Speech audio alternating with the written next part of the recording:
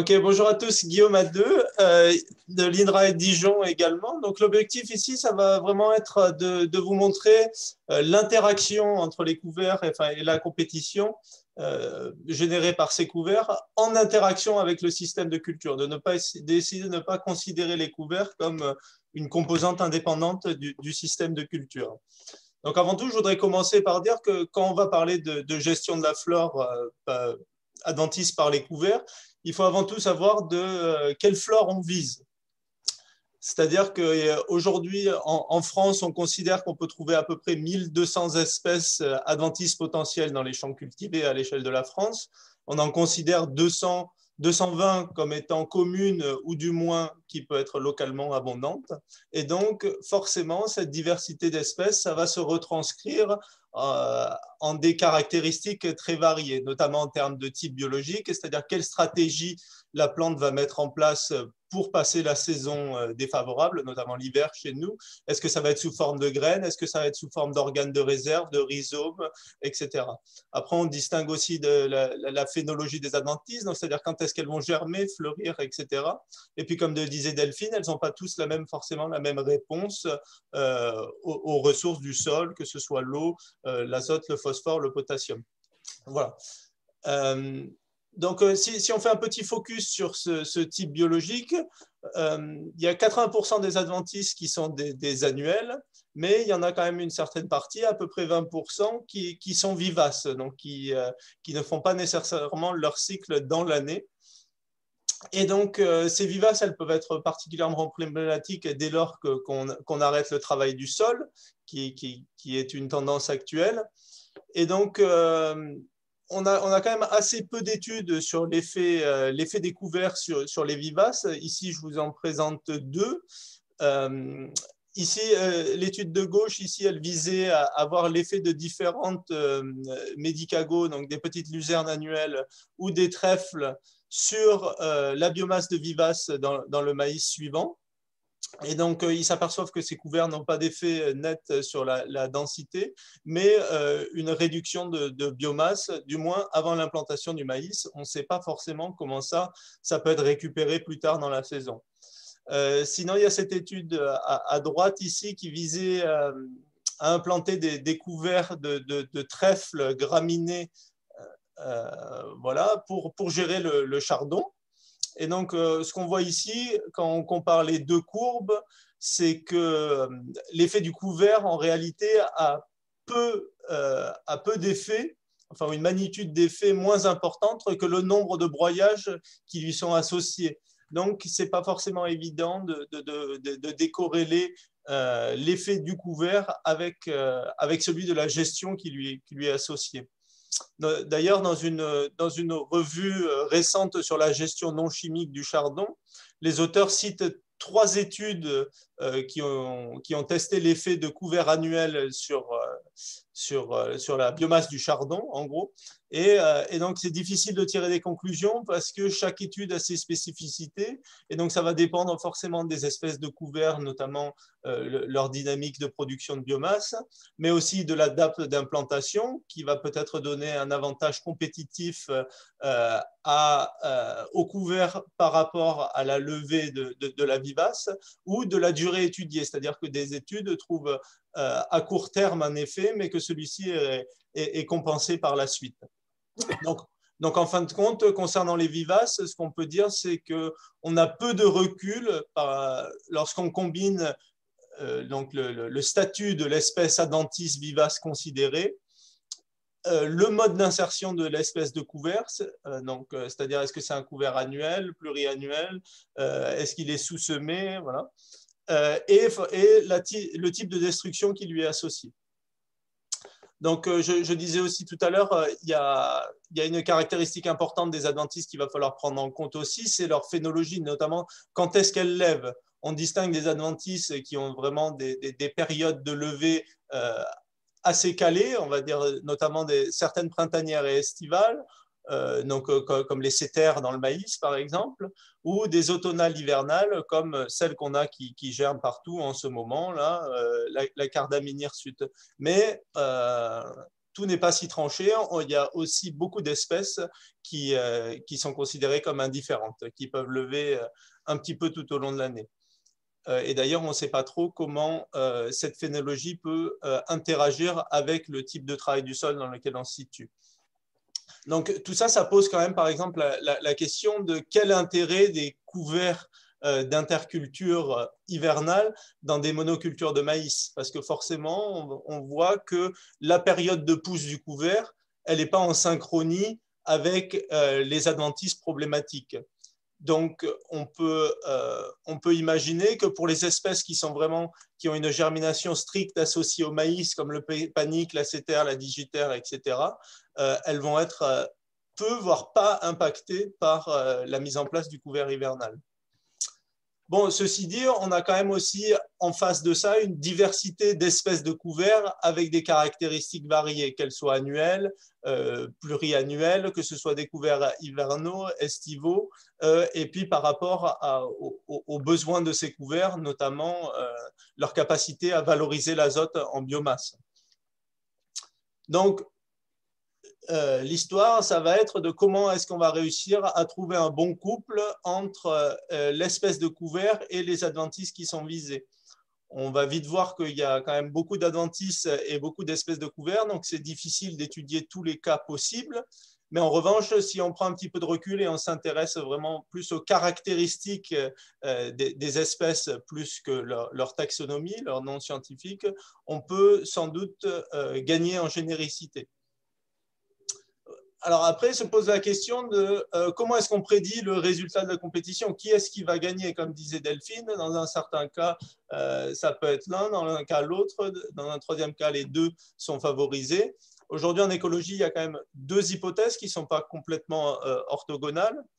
la première, elle, elle, est basée sur le concept de niche, donc qui dit que plus les espèces partagent une niche similaire, plus la compétition sera intense. Donc deux espèces qui sont très différentes, euh, en gros, ne rentreront pas en compétition.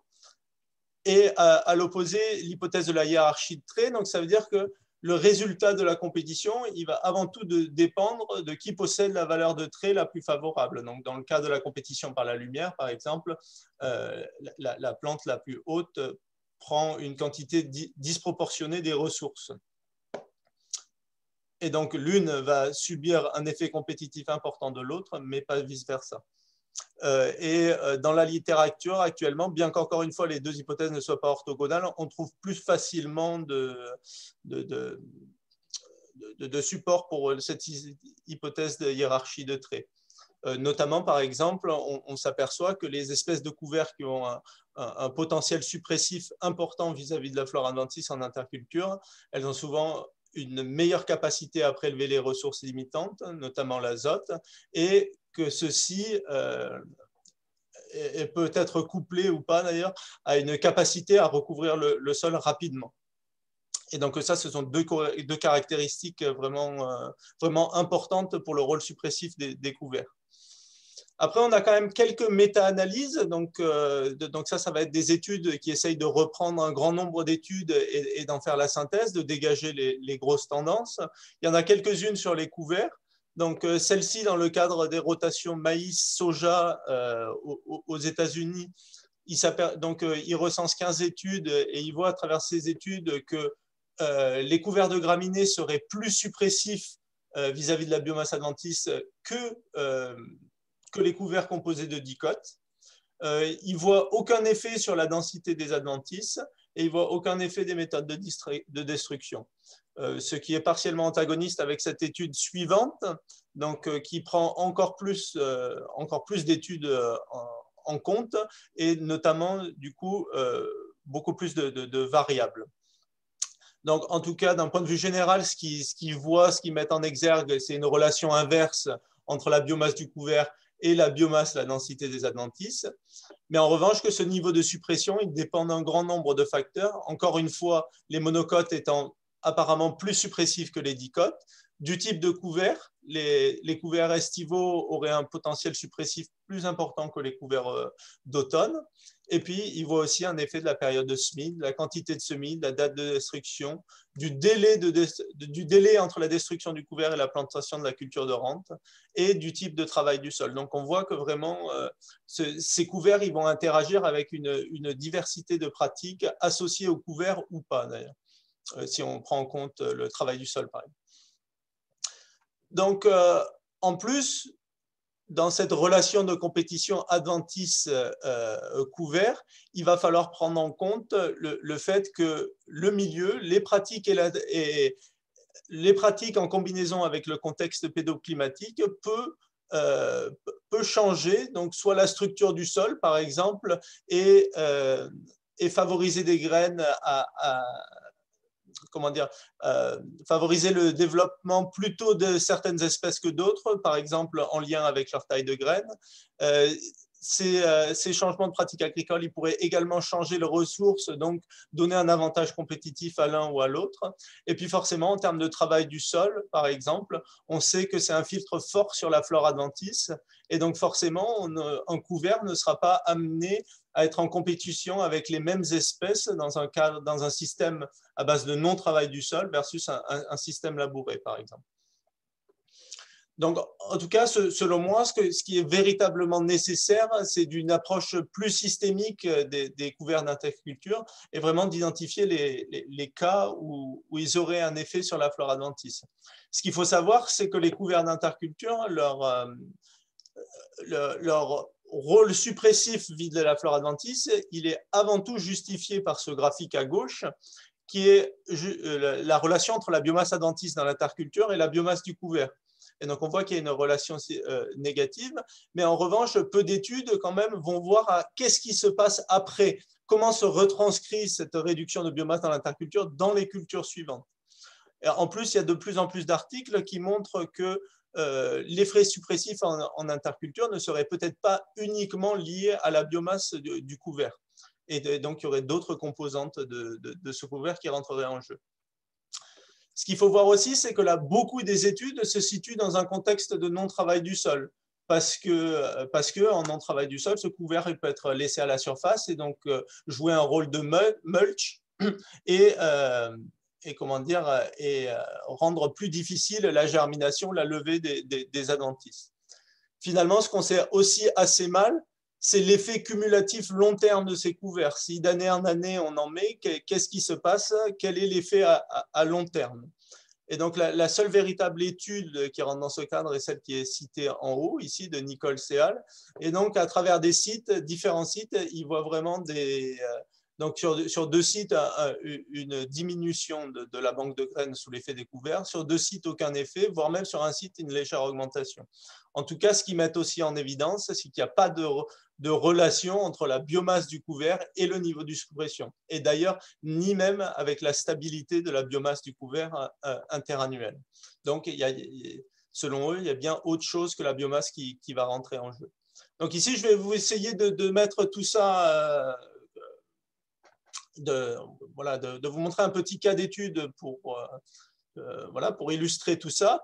Donc, euh, c'est une étude qui a été euh, conduite en, Italie, qu'on a valorisée au, sein de ma thèse. Et donc, le, dispositif est le suivant. sur quatre blocs, on va tester trois modalités le travail du sol, la fertilisation azotée et les, types de couverts d'interculture. Donc, on a deux types de travail du sol du labour versus du, travail réduit, type TCS, puis découpé en, en bandes d'azote. Et puis, au sein de chacune de ces bandes d'azote, on va mettre différents types de couverts. Donc, euh, bon, soit un témoin, un sol nu, une, euh, une moutarde brune, donc il y a un fort potentiel à, pomper l'azote, une, une veste velue qui, elle, donc, a, le, potentiel de vraiment de, de, fournir beaucoup d'azote via, euh, via la symbiose, et finalement un trèfle qui est moins productif et donc qui pourra restituer moins d'azote.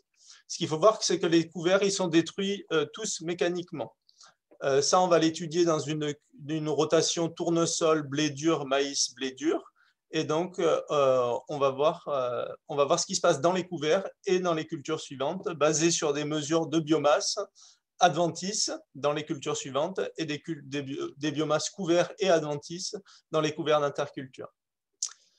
Donc, ce qu'on voit euh, en termes de développement des couverts, c'est que globalement, euh, il y a certaines espèces, notamment la, moutarde brune ou le trèfle, qui se développent mieux euh, en travail du sol qu'en travail réduit. Donc ça, nous, on a, mis en, on, a émis l'hypothèse que ce serait dû à un, meilleur contact terre-graine pour ces petites graines en travail du sol.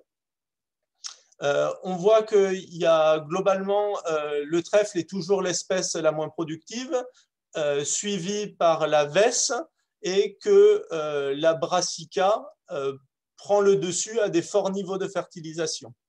Voilà, donc globalement, en tout cas, uniquement la brassica répond à la fertilisation, enfin du moins à la fertilisation de la culture précédente. on s'aperçoit que en termes de biomasse dans l'interculture, il n'y a que la, brassica qui a vraiment un niveau de suppression euh, systématique et maximal. Euh, la, la, veste velue, c'est moins stable pour toutes les combinaisons et que le trèfle n'a quasiment pas d'effet. En revanche, ce qu'on voit, c'est que ce n'est pas le couvert le plus productif qui a forcément le mieux supprimé les adventices parce qu'on voit ici que la, brassica, elle, était plus suppressive que les autres espèces de couverts à faible biomasse adventice. Euh, voilà. Et donc ça, on a, mis, euh, émis l'hypothèse que ce serait potentiellement dû à une rapidité de couverture du sol plus importante ou une préemption du sol plus importante ou peut-être même euh, un, effet allélopathique. En tout cas, dans les cultures suivantes, quand on est allé voir, on n'a vu aucun effet de ces couverts. Donc que ce soit que ce soit sur la biomasse des adventices, la structure, leur diversité, tout ce que vous voulez, et ça, et ce, dans les cultures d'été ou dans les cultures d'hiver. Donc, on a émis deux hypothèses vis-à-vis de ça, c'est que soit les espèces adventices, elles n'ont juste tout simplement pas le temps de grainer dans l'interculture et qu'elles sont euh, détruites par le travail du sol associé à la destruction du couvert, ou que les pratiques de désherbage dans les cultures suivantes en fait masquaient l'effet suppressif des couverts. c'est-à-dire qu'on pourrait avoir une différence de densité d'adventice avant désherbage, mais que suite au désherbage, cela euh, rabattrait tout au, même niveau. Et donc c'est pour ça que l'année suivante, nous sommes allés prélever du sol pour voir vraiment si on, pouvait distinguer un effet euh, sur la banque de graines du sol. Donc, euh, c'est ce que vous voyez ici avec le, nombre de germinations totales qu'on a pu prélever. On voit bien, au moins pour VV, euh, pour la veste velue, pardon, sur le stock total qui, a un effet. Et ceci est encore plus marqué sur le graphique de droite quand on enlève POA, NUA qui domine complètement la banque de graines. Et donc, on voit que, euh, que, les deux couverts ont abouti quand même à une, légère réduction de, la banque de graines. voilà. Et en revanche, quand on va un pouce un petit peu plus loin et on regarde quelles espèces ont été affectées, on s'aperçoit que c'est principalement quatre espèces le, le pâturin annuel, euh, le, le céreste aggloméré, la, euh, la, stellaire intermédiaire et la véronique de Perse. Et, donc, et, principalement, à chaque fois, l'effet est un petit peu plus important pour la veste, euh, pour la veste velue, qui n'était pas celle qui produisait le, plus de biomasse en interculture. Euh, et donc, en tout cas, qu'est-ce qu'elles ont comme caractéristiques, ces espèces? Pourquoi est-ce qu'elles elles, elles sont impactées? Parce que c'est globalement en fait, des espèces qui ont une germination automnale, hivernale, voire même indifférente, et qui sont à cycle court. Donc, qui ont la capacité de germer et grainer pendant le couvert. Mais donc, sauf que cette capacité, en réalité, c'est quand même euh, euh, des caractéristiques qui sont associées globalement à des espèces peu nuisibles. Parce que le régras, le vulpin, etc., n'ont pas le temps de, de, grainer euh, dans les couverts, ou, du moins dans ceux qui ont été mis en place. Donc, en conclusion, ce qu'on peut dire, c'est que l'effet suppressif découvert en interculture, il ne semble pas uniquement dépendre de leur biomasse. Il n'est pas visible sur la flore adventice qui, qu'on va, qu'on va aller récolter après désherbage dans les cultures suivantes. En revanche, il est visible sur le stock semencier pour quelques espèces peu nuisibles. Et donc ça, ça va bien, ça va bien en lien avec certaines conclusions qui ont déjà pu être tirées par d'autres auteurs, c'est que le niveau d'importance découvert pour la gestion Atlantis, il va dépendre du niveau d'intensité de gestion associé. Donc, plus les systèmes seront moins intensifs, plus la contribution découverte dans la gestion de la flore Atlantis sera importante. Et donc ça, ça amène à, quelques perspectives quand même, notamment pour les systèmes à base du et du sol, c'est-à-dire d'essayer d'identifier des méthodes de destruction non chimiques qui ne perturbent pas le sol et qui sont efficaces à la fois pour détruire les couverts et les adventices, afin de potentiellement designer des séquences en semi-direct qui intègrent du mulch.